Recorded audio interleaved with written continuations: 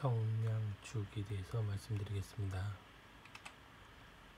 차조에 물을 많이 붓고 오래 쑤어 체에 받쳐 식힌 죽으로 꿀과 생강즙을 넣어 먹습니다.